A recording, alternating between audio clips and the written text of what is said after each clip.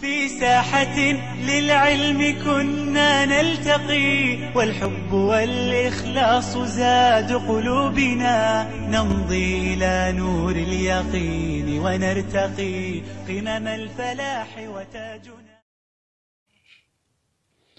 السلام عليكم ورحمة الله تعالى وبركاته. بسم الله الرحمن الرحيم. الحمد لله نحمده ونستعينه ونستغفره. ونعوذ بالله من شرور أنفسنا ومن سيئات أعمالنا. من يهده الله فلا مضل له ومن يضلل فلا هادي له. وأشهد أن لا إله إلا الله وحده لا شريك له. وأشهد أن سيدنا محمدا عبده ورسوله. اللهم صل عليه وعلى آله وسلم تسليما كثيرا.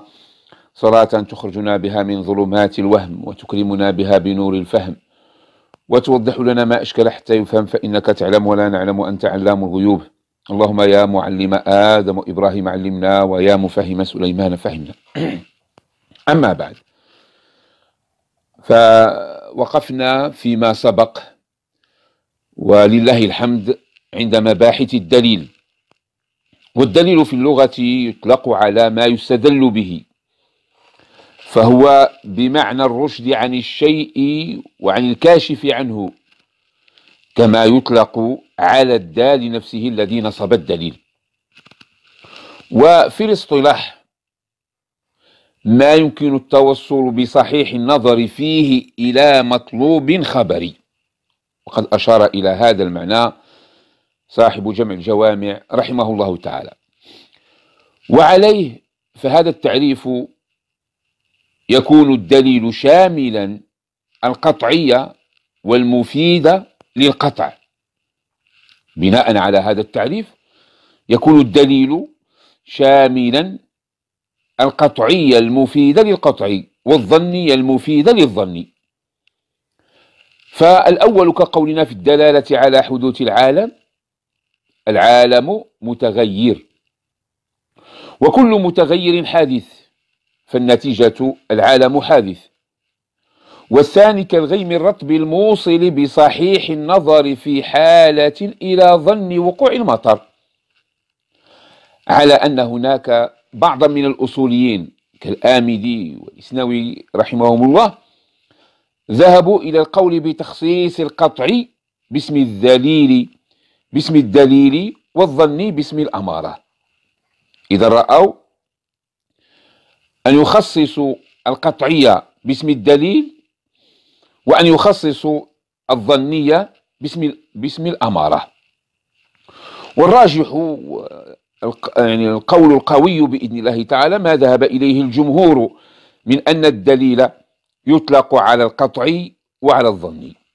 ولهذا قال الإمام الشرازي رحمه الله تعالى وقال أكثر المتكلمين لا يستعمل الدليل إلا فيما يؤدي إلى العلم. فأما ما يؤدي إلى الظن فلا يقال له دليل وإنما يقال له أمارة. قال وهذا خطأ لأن العرب لا تفرق في تسمية بين ما يؤدي إلى العلم أو الظن فلم يكن لهذا الفرق وجه. هكذا قال رحمه الله. ونفس الكلام قاله الشيخ جلال الدين المحلي رحمه الله. قال ومعنى الوصول إليه بما ذكر علمه أو ظنه ثم قال وشمل التعريف القطعية كالعالم الوجود الصانع والظنية كالنور لوجود الدخان وهذا ما قرره كذلك شيخ الإسلام زكريا الأنصاري رحمه الله تعالى. شمل التعريف الدليل القطعي والظني. فالدليل إذن بمعنى الدال وهو في اللغة المرشد.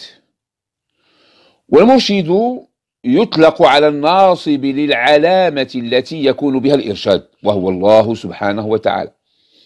ويطلق على الذاكر للعلامة وهو العالم الذاكر لما يدل على وجود الله بصفات كماله. وهو بهذا المعنى يشمل الرسول لأنه مرشد الخلق إلى معرفة ربهم وإلى عبادته. وكذلك يشمل المعلم الذي يذكر لطلابه أدلة الأحكام. ويصح أن يطلق أيضا بهذا المعنى على الخالق على الله سبحانه وتعالى لأنه ذكر لعباده ما يدل عليه وفي كل شيء له آية تدل على أنه الواحد. فيقال على هذا الدليل على الله والله. وأهل السلوك أهل التصوف لهم إشارات وعبارات جليلة في هذا المعنى. ذكرها سيدي ابن عطاء الله السكندري رحمه الله. الفرق بين الإطلاق الأول والثاني أن الأول خاص بالله وأن الثانية ليس بخاص. والدليل بهذا المعنى اللغوي حقيقة عند الأكثر. وكذلك يطلق الدليل على ما به الإرشاد وهو العلامة التي نصبت للتعريف كالعالم بفتح اللام لأن فيه إرشادا إلى معرفة الله تعالى فوجوده دليل على وجود الله سبحانه وتعالى. خلاصة القول أن الدليل يطلق على ثلاثة أمور على الناصب للعلامة على الذاكر لها على العلامة ذاتها التي يسترشد بها إلى الغاية. وفي الاصطلاح كما سمعتم فقد عرفه المتكلمون تعريفا يتفق مع عرف تخاطبهم مع موضوع علمهم. فقالوا الدليل هو ما يمكن التوصل بصحيح النظر فيه إلى العلم بمطلوب خبري. فقوله ما يمكن التوصل إنما لبيان أن المعتبر التوصل بالقوة فهو دليل ولو لم ينظر فيه. وهو أيضا احتراز عما لا يمكن أن نتوصل به إلى المطلوب. لا يمكن التوصل به إلى المطلوب. وكذلك هو احتراز عما يمكن التوصل به إلى المطلوب. لكن لا بالنظر بل بالحس. كسلوك طريق يمكن التوصل بها إلى مطلوبه. وقولهم بصحيح النظر احتراز عن فاسد النظر. وقولهم إلى العلم احتراز عما يؤدي إلى الظن فلا يسمى دليلا عند هؤلاء. وقولهم بمطلوب خبري احتراز عما يتوصل به إلى ما يتوصل به إلى مطلوب تصوري. أما جمهور الفقهاء والأصوليين فقد عرفوا الدليل بأنه ما يمكن التوصل بصحيح النظر فيه إلى مطلوب خبري. إذا قالوا ما يمكن التوصل بصحيح النظر فيه إلى مطلوب خبري. ولهذا ذكرت لكم كلام الإمام الشيرازي رحمه الله لما قال وقال أكثر المتكلمين لا يستعمل الدليل إلا فيما يؤدي إلى العلم. أما ما يؤدي إلى الظن فلا يقال له دليل وإنما يقال له أمارة. ثم خطأ هذا هذا التعريف. الأمارة هي الدليل المظنون كالخبر كخبر الواحد. الأمارة هي الدليل المظنون كخبر الواحد. فعلى التحقيق الأمارة نوع من الدليل. لأن الدليل كما هو المختار ما وصل إلى المطلوب مطلقا سواء على سبيل القطع أو على سبيل الظن. ومن هنا فهي منه ويكون بينهما العموم والخصوص المطلق حيث إن كل من القطع والظن يسمى دليلا. بخلاف الأمارة فلا تطلق إلا على الظن فيجتمعان في الظن وينفرد الدليل بالقطع. وأما على القول بأن الدليل خاص بالقطع وأن الأمارة خاصة بالظن فهو تباين الدليل على أصحاب هذا القول وهو قول مرجوح كما قلنا. إذا علماء الأصول بينوا ذلك وقالوا ما يمكن التوصل بصحيح النظر فيه إلى مطلوب خبري وهذه المصطلحات تعرفونها وقد ذكرها سيدي ابن عاشر رحمه الله تعالى. كمصطلح مثلا آه، آه، الضروري والنظري إلى آخره. وهذا كذلك يدرس في علم المنطق. فالتصور مثلا عندهم هو إدراك المفرد.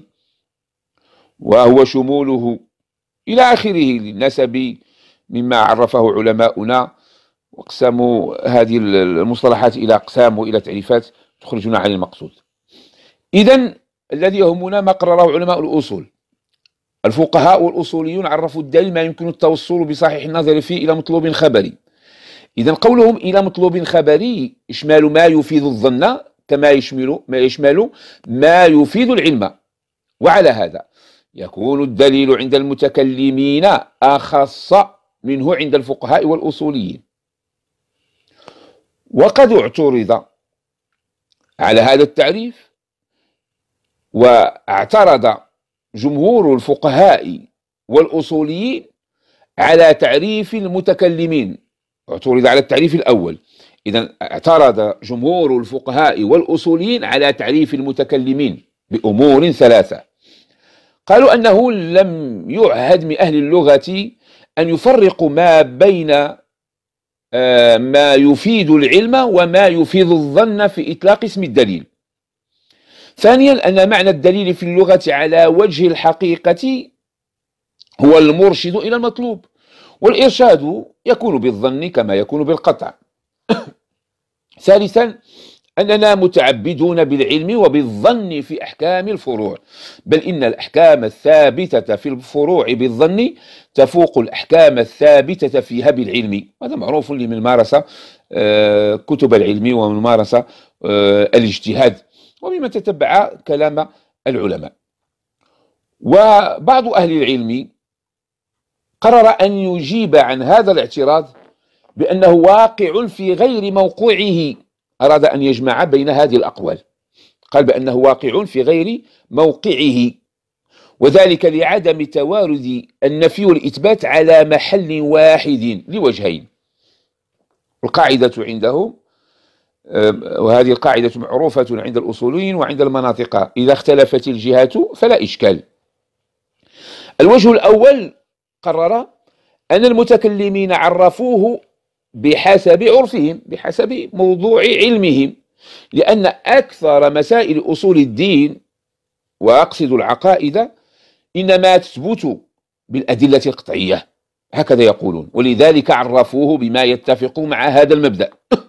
إذا البعض حاول أن يجد تبريرا وتوجيها لتعريف علماء الكلام علماء العقيدة للفظ الدليل ولمصطلح الدليل. أما الفقهاء والأصوليون فقد عرفوه بحسب عرفهم. إذ الفروع لا يقتصر ولا يقتصر فيها الفقهاء على ثبوتها على الأدلة القطعية. لا يقتصر ثبوتها على الأدلة القطعية بل أكثرها ثابت بالأدلة الظنية. هذا إذا فرضنا الخلاف بين علماء أصول الدين وبين علماء أصول الفقه. أما لو فرض الخلاف بين علماء أصول الفقه أنفسهم وهو الذي دل عليه آه، تعريف الرازي في كتابيه المحصول والكاشف وفي تعريف ابن جوزي في كتابه تقريب الوصول فقرر بعضهم أن يجيب بالوجه الثاني وهو أن الذين عرفوا الدليل بما يفيد القطع. قصدهم بذلك آه، يعني قصدوا بذلك أدلة أصول الفقه. فإنها لا تثبت عند بعضهم بالظن بل بالقطع. ومن هؤلاء آه، الإمام أبو إسحاق الشاطبي رحمه الله تعالى في الموافقات. آه، وأشار إلى هذا ربما الإمام الآمدي رحمه الله. ثم قال وأما حده أي تعريفه على العرف الأصولي فهو ما يمكن التوصل به إلى العلم بمطلوب خبري. فإذا الذين عرفوه بما يفيد الظن والقطع إنما قصدوا أن أدلة الفقه تثبت بهما للأمور الثلاثة المذكورة سابقا. والباجي رحمه الله تكلم عن هذا أيضا في كتابه الحدود. والدليل هو عمدة الدليل هو عمدة الفتوى. ولهذا قسم عندهم إلى نقلي وعقلي. المصادر الشرعية ونعني بها الأدلة الشرعية أو نعني بها أصول الأدلة الشرعية تنقسم باعتبارات مختلفة. فهناك تقسيم لها من حيث تبعيتها وأصالتها. وهناك تقسيم من حيث اعتبارها وعدم اعتبارها وتقسيم من حيث اعتمادها على الوحي أو على غيره وتقسيم من حيث اعتمادها على النقل أو العقل.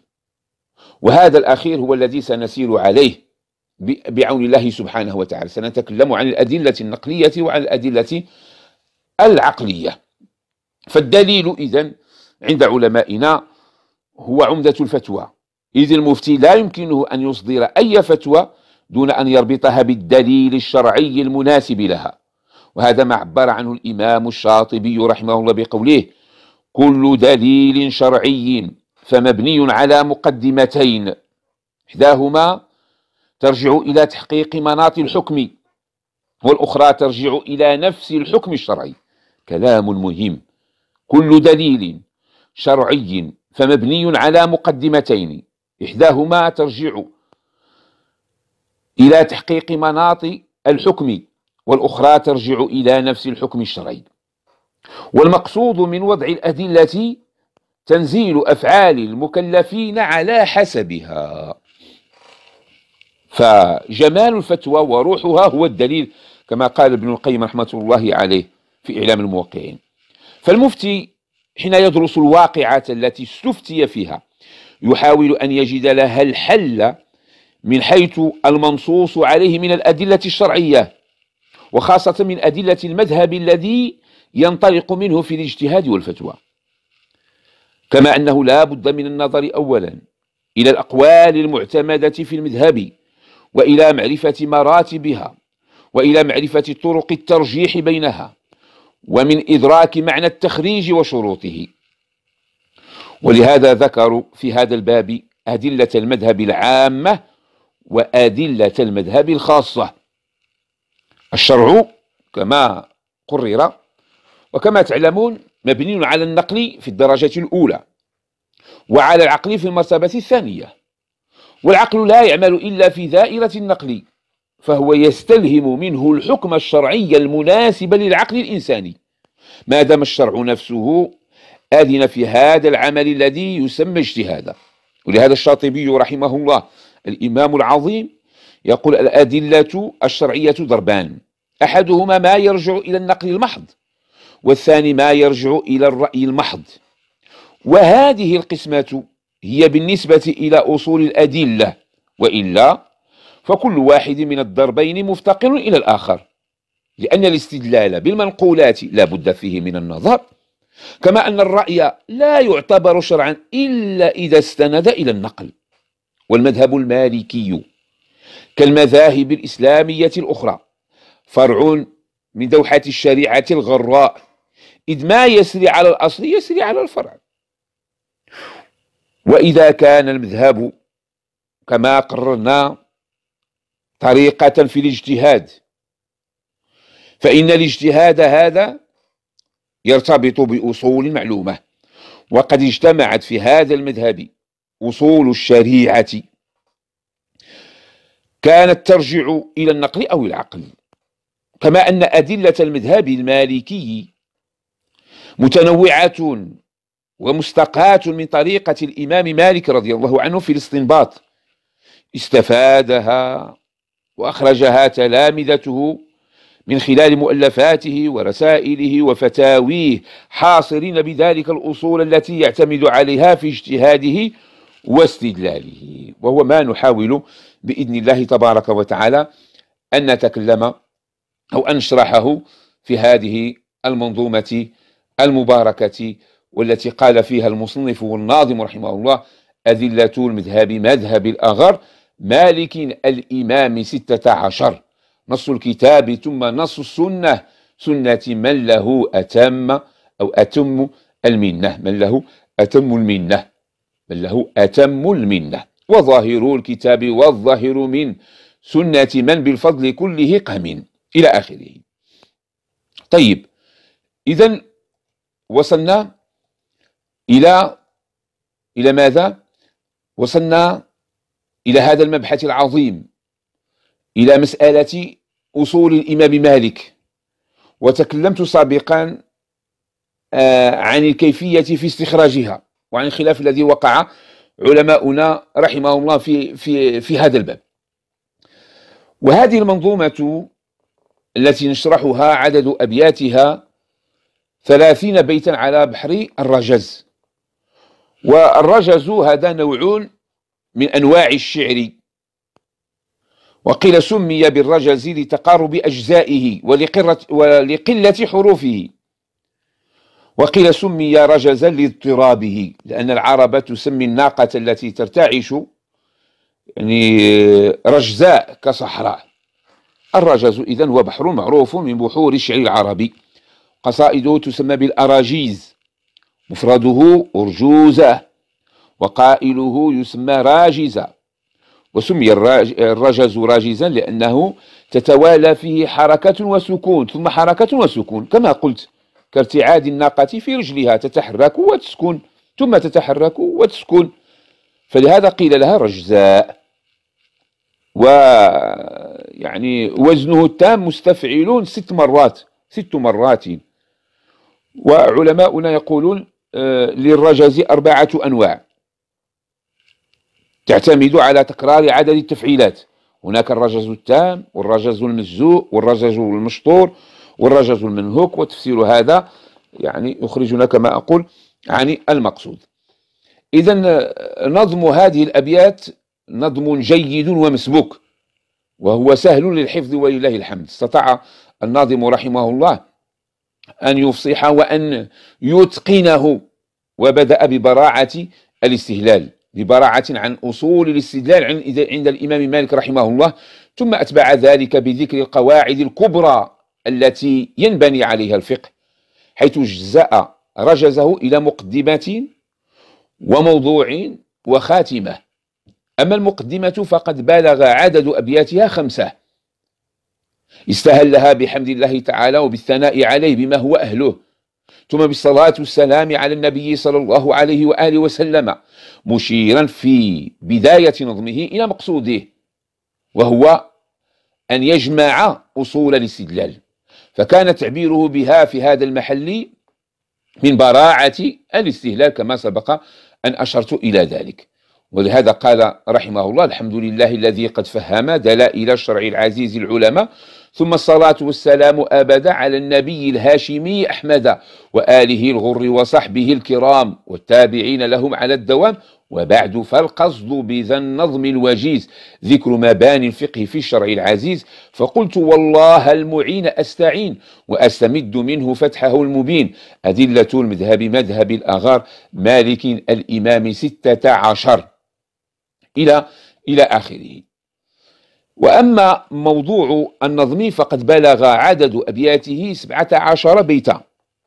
استعرض من خلالها الناظم رحمه الله أصول مذهب الإمام مالك رضي الله عنه بعدها وبحصرها فأشار إلى أنها ستة عشر. يعني ستة عشر دليلا. ثم سردها اتباعا. نعم.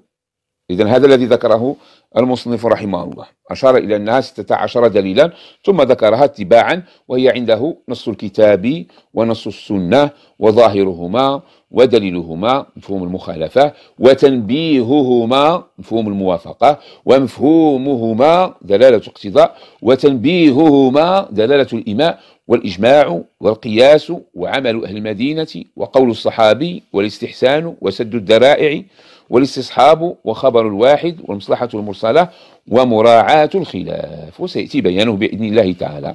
والناظم رحمه الله مع كونه اكتفى بتعداد الأصول دون كشف عن حقائقها لم يعرفها ولم يبينها يعني رحمة بالمبتدئ.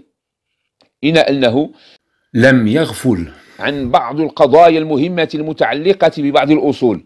فألمح إلى الخلاف الموجود مثلا في تعريف الاستحسان. وقدم الراجح عنده كما أشار يعني كما قال رحمه الله ماذا قال في ذلك؟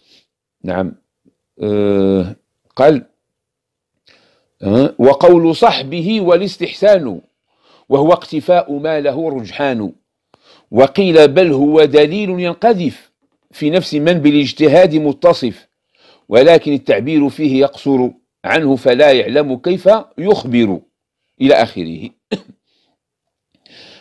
فالعادة عند العلماء أنهم عندما يعرفون الراجح عندهم وما ترجح عندهم يقدمونه ثم بعد ذلك يقولون وقيل وقالوا إلى آخره. نعم فإذا هكذا يقول رحمه الله. فعلى كل يعني استطاع بهذا النظم وبهذا العمل أن يجمع ما كان يعني منتشرا ومتناثرا من أصول المذهب على نسق واحد وقرب للراغبين والطالبين والمحبين وللباحثين آه، قرب آه، لهم آه، إدراكها واستحضارها بعد معرفة حقائقها على وجه الإجمال. فكأنه بذلك حاول أن يؤصل نظرية عامة يقوم على وفقها بنظام التخريج والتفريع في المذهب المالكي بأن يضبط للمفتي ونحوه أصول المذهب التي ينبغي أن يراعيها عند الإفتاء. فجاء نظمه متكاملا في بابه مع صغر حجمه واستحق يعني آه، يعني أن ينوه به وأن يهتم به من علمائنا جزاهم الله خيرا. ثم ختم رجزاه بستة أبيات اشتملت على ذكر القواعد الكبرى. الخمس التي تنبني عليها أغلب مسائل الفقه وهي الأمور بمقاصدها واليقين لا لا يزول بالشك والمشقة تجلب التيسير والضرر يزال والعادة محكمة مع بيانه لاختلاف العلماء في عد بعضها دون بعض ومع رجوع بعضها إلى بعض ومع تداخلها. كل ذلك دون الكشف عن معناها وعن دليلها وما يتبع ذلك. ولعله فعل ذلك للمبتدئ. وإن كان في عدها يعني كفاية لمن اجتهد في معرفة حقائقها. وهذا شأن النظم. وذكر هذه القواعد يعني ذكر هذه القواعد ضمن أصول مذهب الإمام رحمه الله له وجه قوي وتوجيه يعني قوي لأنها بمثابة الأصول الشرعية العامة كما ذكرنا قبل قليل. حيث يستند في الاستدلال على اعتبارها إلى جملة نصوص شرعية عن طريق الاستقراء والتتبع. هكذا. ولم يفت رحمه الله أن يختم بحمد الله والثناء عليه بما هو أهله وبالصلاة والسلام على النبي صلى الله عليه وسلم وعلى الآل الكرام. ولهذا قال رحمه الله قد تم ما رمت ولله الحميد. مني حمد دائم ليس يبيد. وأطيب الصلاة مع أسنى السلام. على محمد وآله الكرام. نعم. إذا آه، ينبغي أن نتكلم لنطوي صفحة مسألة الدليل عن إحصاء هذه الأصول وعن أنواعها. صاحب كتاب آه، اصطلاح المذهب آه، أشار إلى مسألة في كتابه. قال قام علماء المذهب بحصر أصول المذهب وبترتيبها. بل وتوسعوا في ذلك توسعا أدى إلى اعتبار مذهب الإمام مالك رضي الله عنه من أكثر المذاهب أصولا. في معنى كلامه رحمه الله. فقد قيل إنها تصل إلى خمسمائة وهي لا تقل عن تسع وإن كانت عند أكثر العلماء ستة عشر أصلا.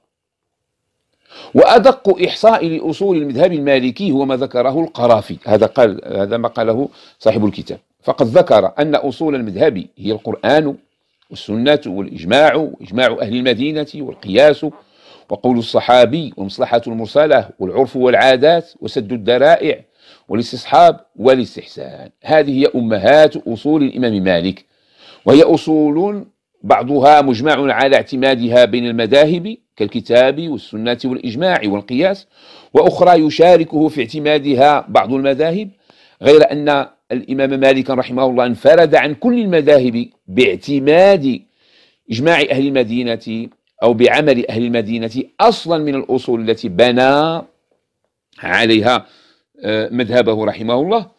وقد كان اعتماد الإمام مالك لهذا الأصل مثار جدل ومناقشة بين العلماء وبين الفقهاء بدأت في حياته رحمه الله ولم تنتهي. ما ظل يعني ما ظلت المناقشات الفقهية بين المذاهب. طيب هذا تكلمنا عنه ولله الحمد. فإذا الذي رجحه كثير من العلم أنهم في إحصائهم لأصول الإمام مالك قالوا لم ينص الإمام مالك على كل أصوله. لكن المالكية ممن جاءوا بعده اعتنوا. ماذا؟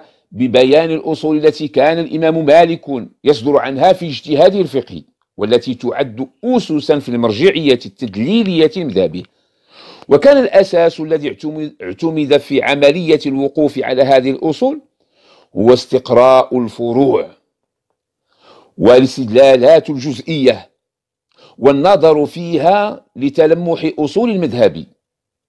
والاستخلاص المنهج الاجتهادي للإمام. فانتهت المالكية وانتهوا إلى جملة أدلة وأصول نسبت إلى الإمام مالك وأصحابه.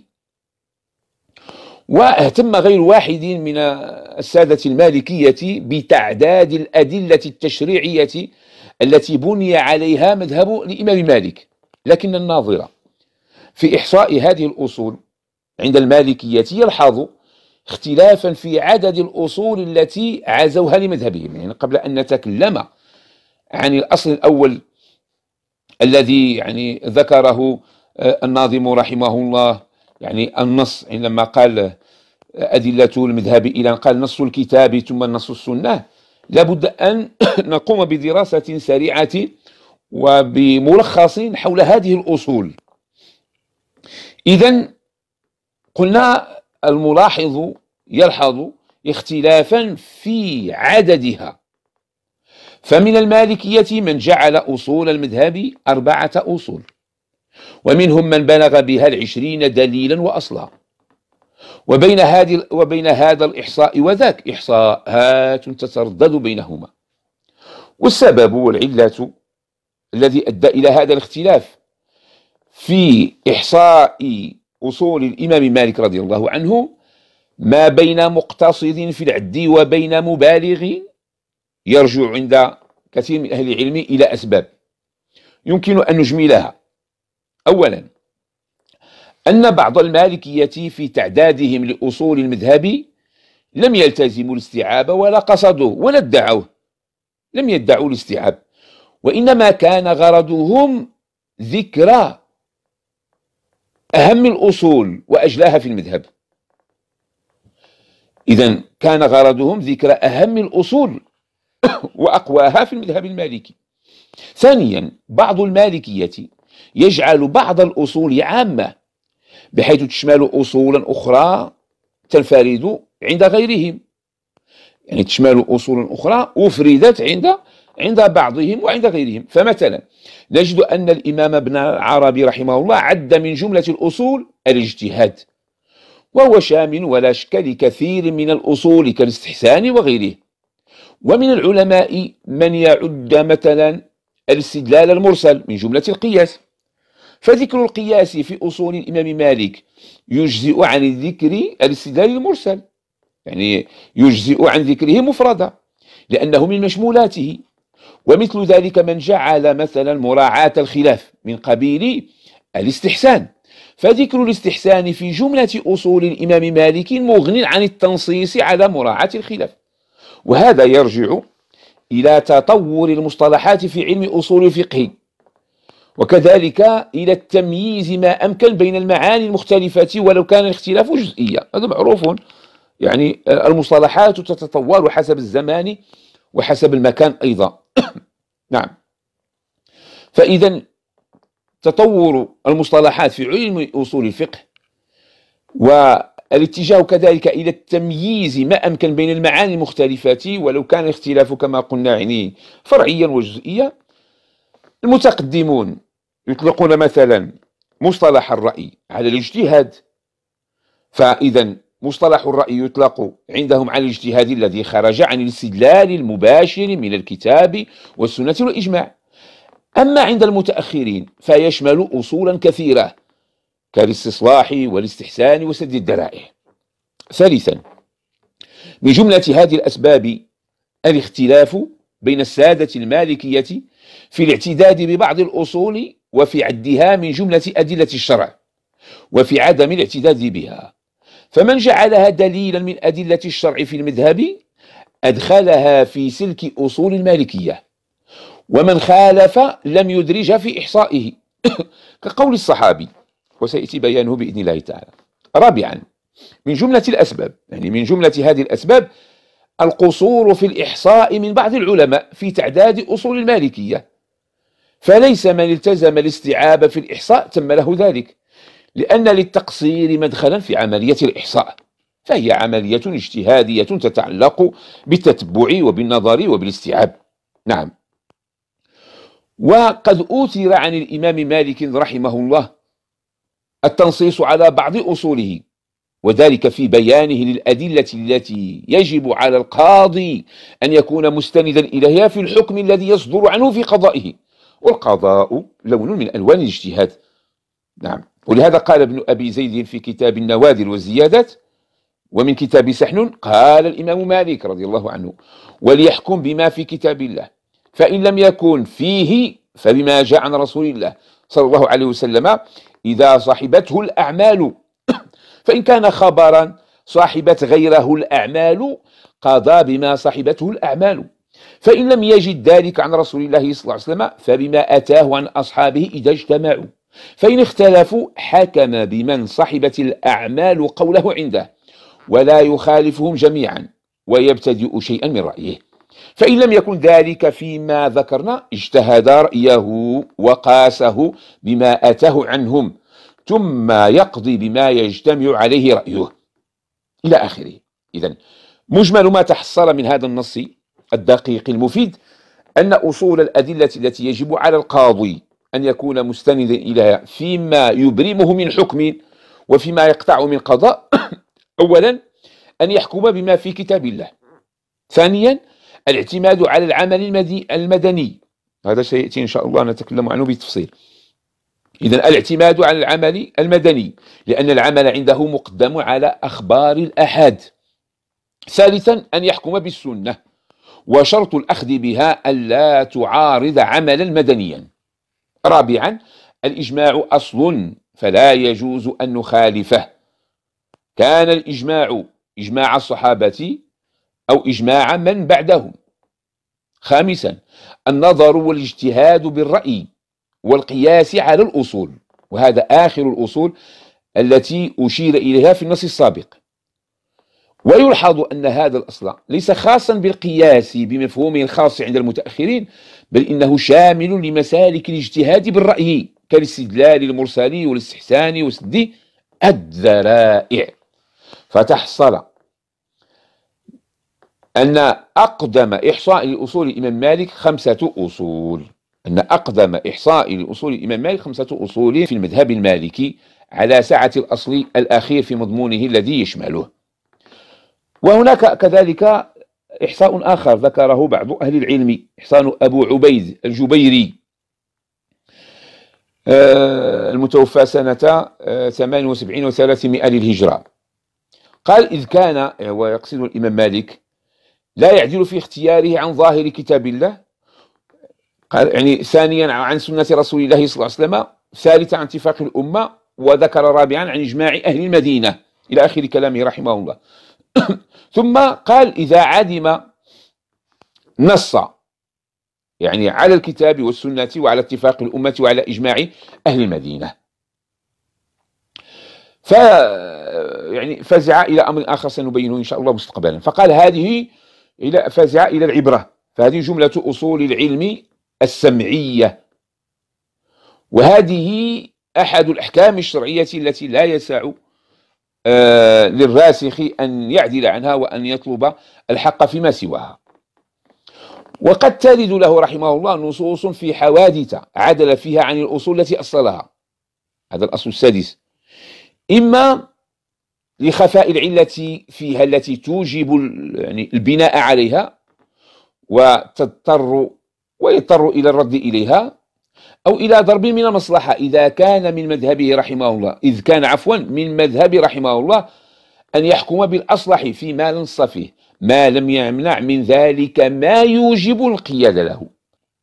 وهذا النص الجليل من الجبيري وهو في القرن الرابع وقد أخذ عن أئمة المدرسة العراقية وعلى رأسهم الشيخ الأبهري رحمه الله قد أفادنا بأصول مذهب الإمام مالك فالأصول الخمسة الأولى الكتاب والسنة والإجماع وإجماع أهل المدينة والقياس. نعم. ثم بين مسلكا للإمام مالك جرى عليه وهو العدول عن أصوله العدول عن أصوله في بعض المسائل تعويلا على ضرب من المصلحة وهذا هو الاستحسان المصلحي الذي سيأتي بيانه في محله بإذن الله. ثم بين أصلا سابعا وهو يعني بين وأرشد إلى الحكم بالمصلحة حيث لم يجد في يعني حيث لم يجد فيه نصا ولم يدفعه دليل معتبر آه، يرجع إليه. لكنه لم يجعل المسلكين الأخيرين في جملة الأصول السمعية بل إنه اختار عدم التعويل على ما خرج عن الأصول. هذا الإحصاء الثاني. الإحصاء الثاني لهذه الأصول ما ذكره القاضي ابن العربي رحمه الله تعالى في شرح آه، الموطأ الإمام مالك رحمه الله. قال فأصول الأحكام خمسة منها أربعة متفق عليها من الأمة الكتاب والسنة والإجماع والنظر والاجتهاد. إذا الكتاب والسنة والإجماع والنظر والاجتهاد فهذه الأربعة والمصلحة وهو الأصل الخامس الذي انفرد به الإمام مالك رضي الله عنه دونهم ولقد وفق فيه من بينهم. سنبين هل اشترك أو شارك العلماء الإمام مالك في هذه وفي هذا الأصل بإذن الله تعالى. فأصول الأدلة في المذهب المالكي عند ابن العربي خمسة أربعة متفق عليها بين علماء الأمة وأصل اختص به المالكية. فالأول الكتاب والثاني السنة والثالث الإجماع والرابع النظر والاجتهاد والخامس المصلحة. لكن الذي يلاحظ على إحصاء الإمام ابن عربي رحمه الله مع الإحصاء الأول أنه عد المصلحة أصلا مستقلة في حين لم يذكر في الإحصاء الأول اكتفاء بمطلق الاجتهاد والنظر. ومما يلفت النظر كذلك أن ابن عربي لم يدرج ضمن أصول الأحكام أصل الإمام مالك في العمل المدني ولعله ترك لذكر هذا الأصل لاندراجه في أصل السنة لأن العمل المدني النقلي الذي يحتج به أكثر المالكية هو في الحقيقة من شعب الاحتجاج بالسنة. قال ابن خلدون واختص يعني الإمام مالك اختص يقصد الإمام مالكا رضي الله عنه. وأما إذا قلنا اختص يعني الفاعل هو إمام الإمام مالك.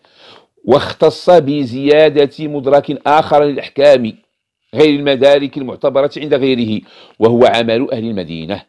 لأنه رأى أنهم فيما يتفقون عليه من فعل أو ترك متابعون لمن قبلهم ضرورة لدينهم واقتدائهم. وهكذا إلى الجيل المباشرين لفعل النبي صلى الله عليه وسلم الآخذين ذلك عنه إلى آخر كلامه. وعلى رأي المخالفين من المالكية ممن جعل العمل المدني المستند للاجتهاد من الحجج عند الإمام مالك قال أهل العلم إن العمل المدني كذلك من قبيل الوراثة التي تناقلها أهل المدينة لأن العمل الاستدلالي الذي يحتج به وما كان زمن الصحابة رضي الله عنهم الذين شاهدوا التنزيل وحضروا الخطاب فاتفاقهم على أمر يندرج في المأثور من السنة أو هو ملحق بالإجماع لمكان التشابه بينهما. فالإجماع اتفاق علماء الأمة على قول والعمل المدني إجماع أهل المدينة على أمر على أن بين إجماع الأمة وعمل المدني اختلافا ليس يخفى.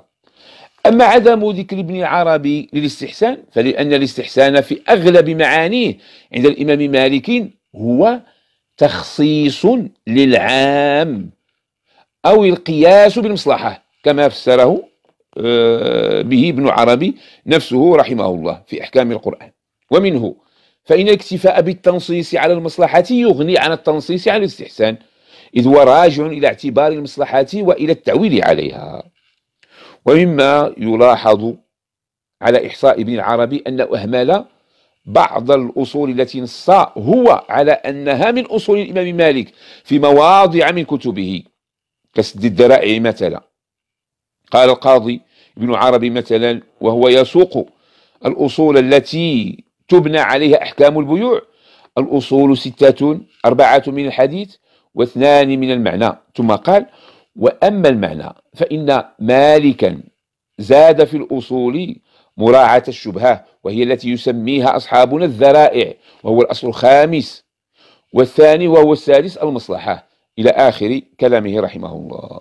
فنرى كيف جعل ابن العربي سد الذريعة أصلا في مقابل مصلحة وأخبار الأحد. وهذا يدل على أن إحصاء ابن العربي كان قاصرا في إهماله لأصل الذرائع وهو من الأصول المعتبرة عنده في مذهب الإمام مالك.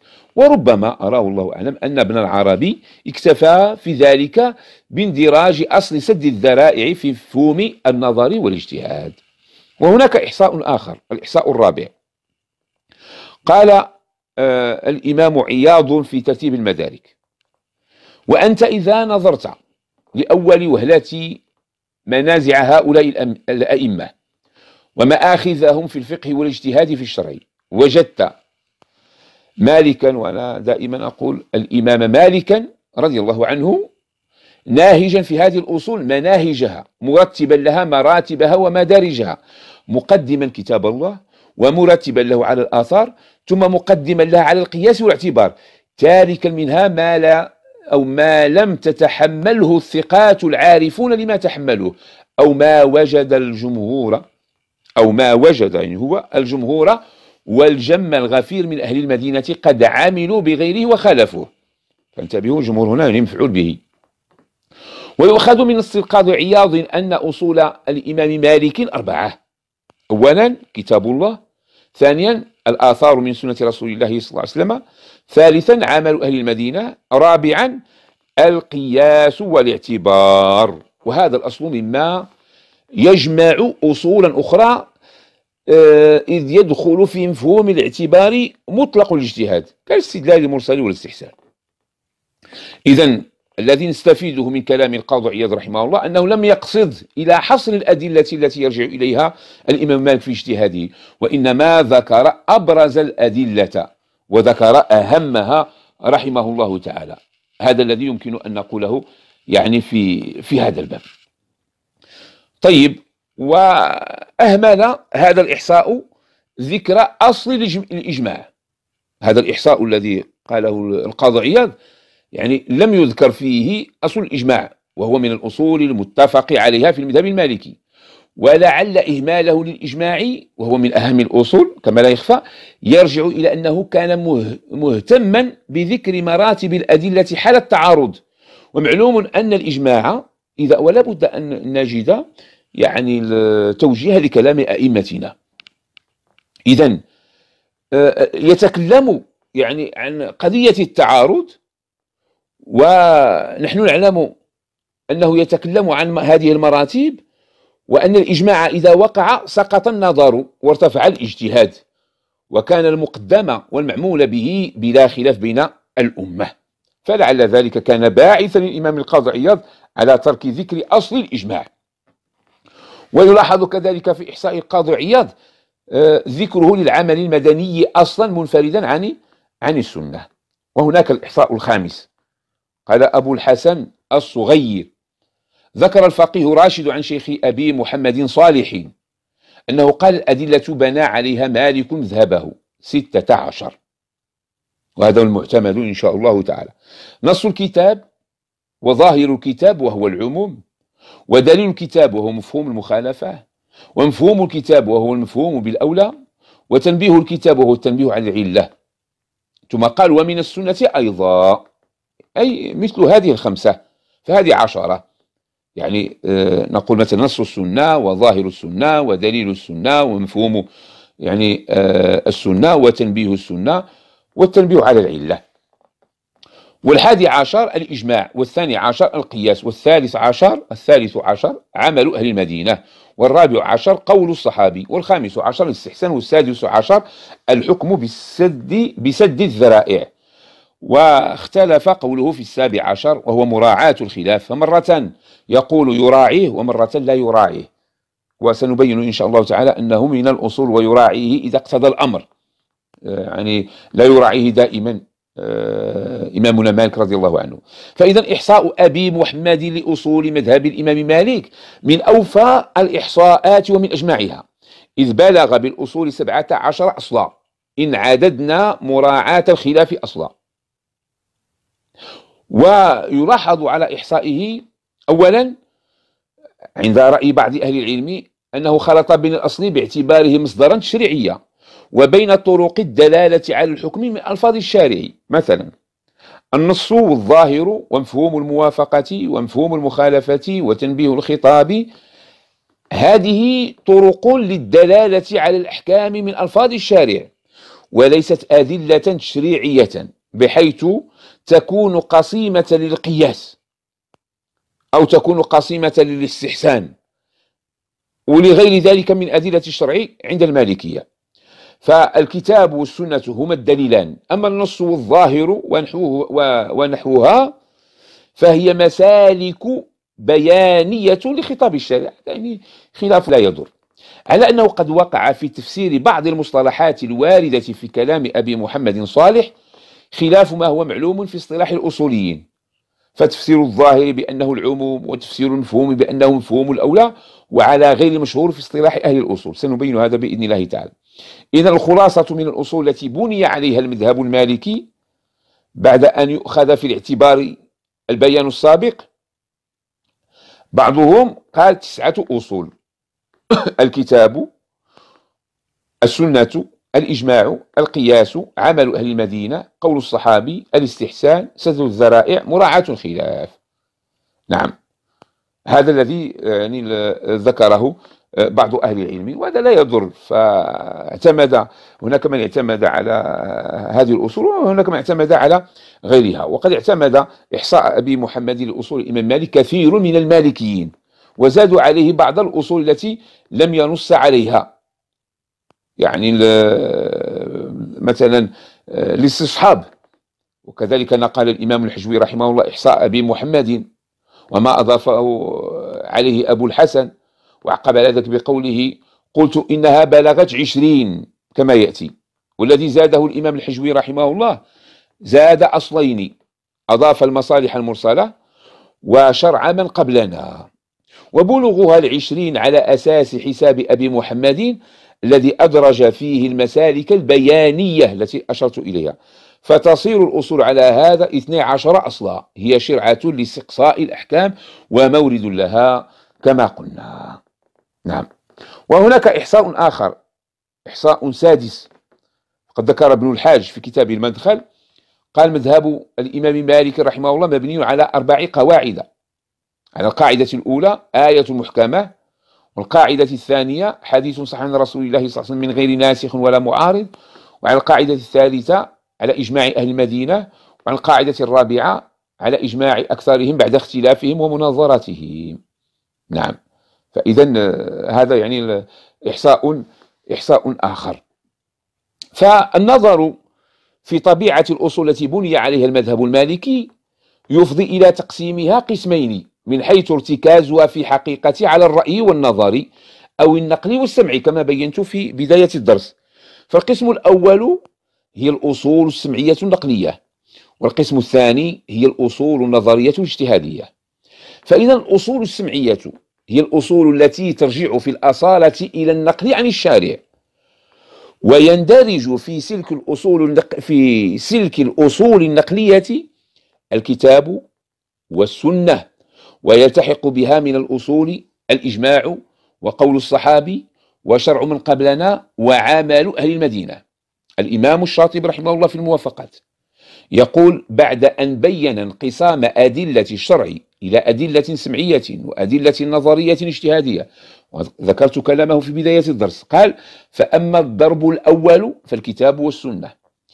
إلى أن قال يلحق بالضرب الأول الإجماع على أي وجه قيل به. ومذهب الصحابي وشرع من قبلنا. لأن ذلك كله وما في معناه راجع إلى التعبد بأمر منقول صرف لا نظر فيه لأحد. نعم.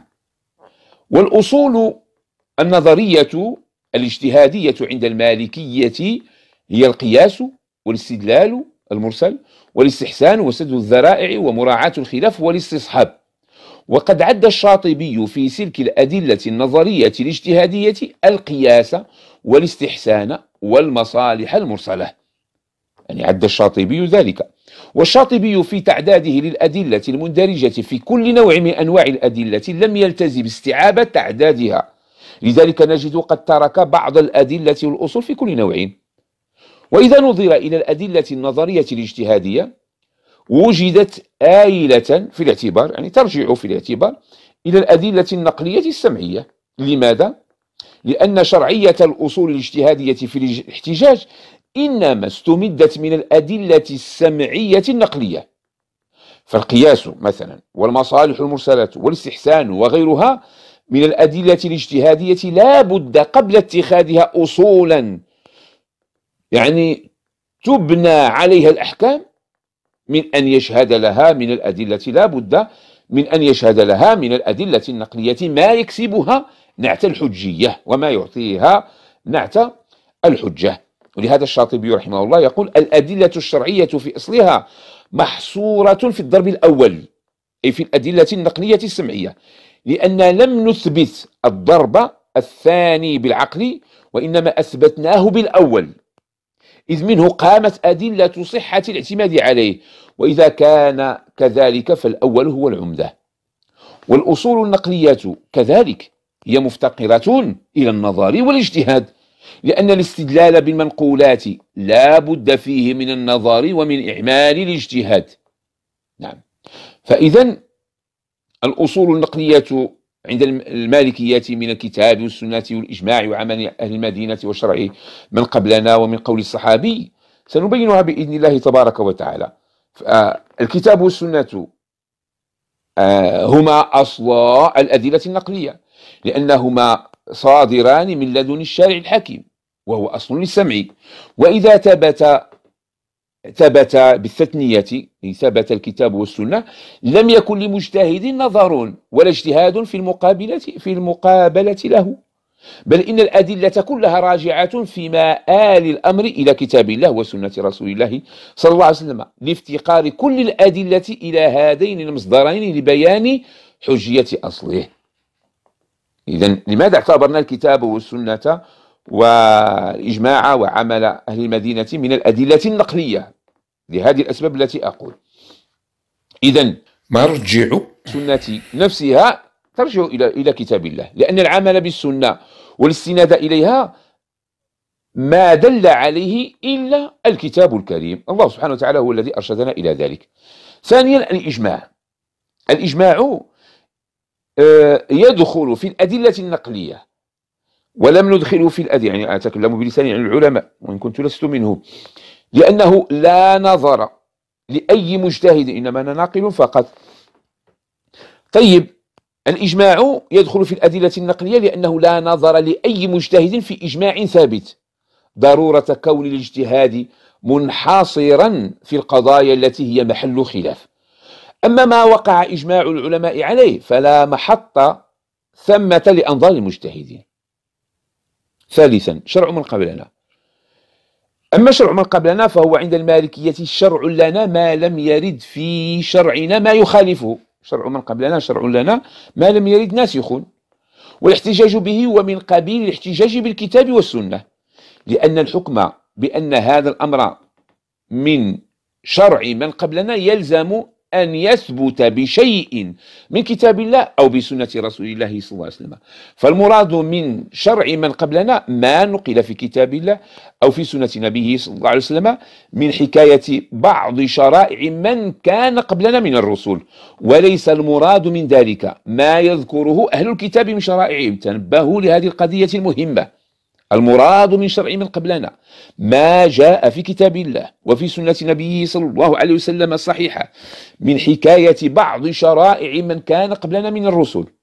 وليس المقصود ما يذكر أهل الكتاب من شرائعهم أو ما نجده في كتبهم لأنها آه، تهمت ولتهمة التحريف والتبديل الذي آه، وقع في كتبهم المنزلة عليهم بنص الكتاب ونص حديث النبي صلى الله عليه وآله وسلم. والمالكية إذا جاءوا في الاستدلال على حجية شرع من قبلنا قالوا إن الشارع لما ذكر ما كان عليه شرع من قبلنا كان على جهة التأسي والأخذ بما شرع الله لهم إن لم يرد في شرعنا ما يعارضه أو يثبته. وسنفصل في هذا بإذن الله تعالى.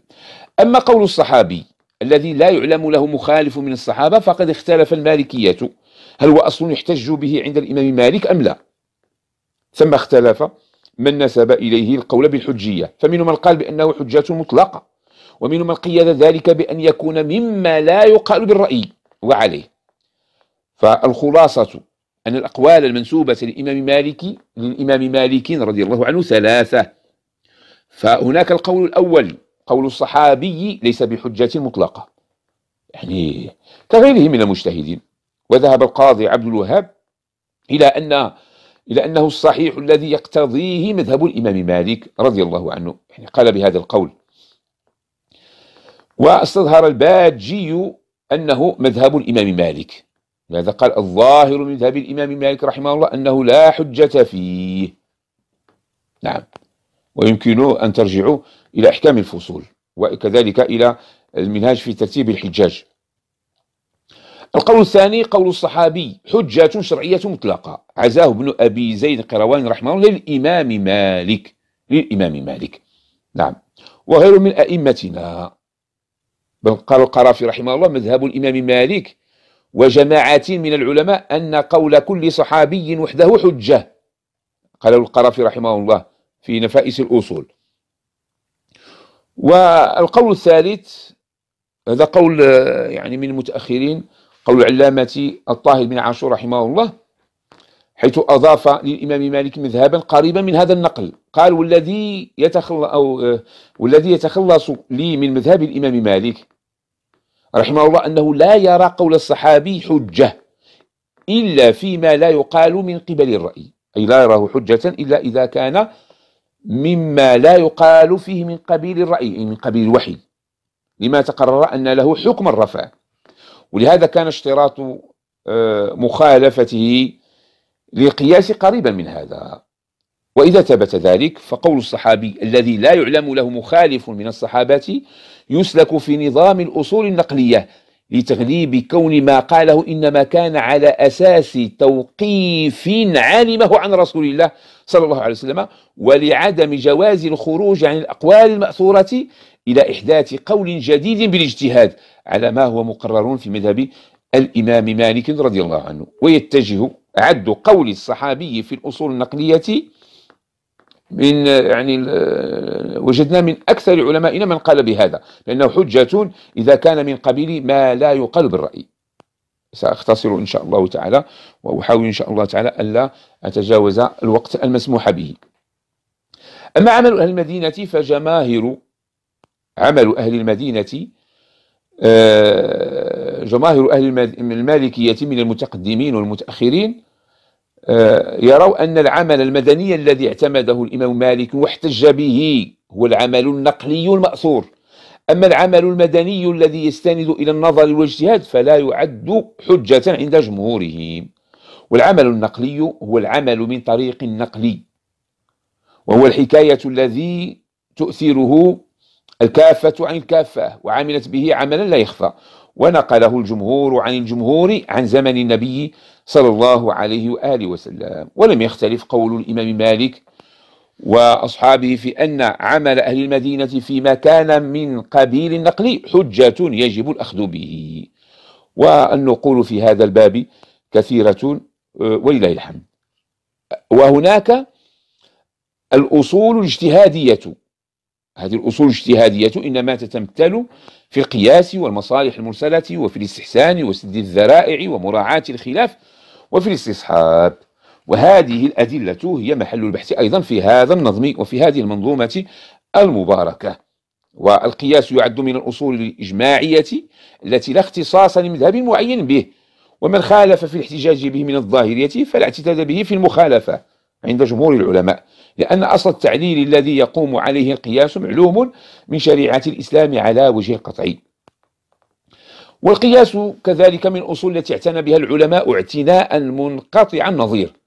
فمبحث القياس في كتب الأصول يعد من أكبر المباحث التي تناولها الأصوليون وحرروها التحرير القويم. نعم. أما العرف فقد عده الشيخ المشاط رحمه الله من جملة الأصول التشريعية في المذهب في حين نجد غالب من أحصى أصول الإمام مالك وعددها لم يجعل العرف أصلا شرعيا. بإذن الله تبارك وتعالى ربما نقف عند هذا الحد آه، حتى نحترم آه، الوقت الذي سمح لنا بحول الله تعالى لشرح هذه المنظومة المباركة. فإذا هذه هي الخلاصة هناك الأدلة النقلية التي تثبت عن طريق النقل ويكون أساس الاعتماد فيها على المنقول ولا شأن للمجتهد في تكوينها ولا في إيجادها. عمله إنما يقتصر على فهم المراد وعلى فهم الأحكام منها بعد ثبوتها. إذا هي الكتاب والسنة وما يمكن أن يلحق بهما من الإجماع ومن قول الصحابي ومن شرع من قبلنا ومن عمل أهل المدينة. وهناك الأدلة العقلية التي تتضح من خلال ومن حيث بناء الحكم عليها آه، يعني من عمل العقل ومن اجتهاده بشكل آه، بارز. ويكون المجتهد يدخلون في في تكوينها كالقياس والمصالح المرسلة وسد الذرائع إلى آخره. ف وكل واحد من هذين النوعين يحتاج في دلالة على الحكم إلى الآخر إلى الآخر كما قلنا. وكما ذكرنا آه، يعني كلام الإمام الشاطبي رحمه الله تعالى. نعم آه، بقيت بعض المباحث ربما آه، نشير إليها بإذن الله تعالى في حصة مقبلة وحينها سنبدأ في أول أصل من هذه الأصول وذلك عند قول الناظم رحمه الله نص الكتاب ثم نص السنة سنة من له أتم المنة. ونذكر الأمثلة التطبيقية لذلك آه، سننتقل من الجانب النظري إلى الجانب التطبيقي. نسأل الله سبحانه وتعالى أن يبارك فيكم وأن يثيبكم على صبركم وعلى تحملكم للعبد الضعيف. نسأل الله سبحانه وتعالى أن ينفع بكم والله تعالى يقول الحق ويدي السبيل والحمد لله رب العالمين.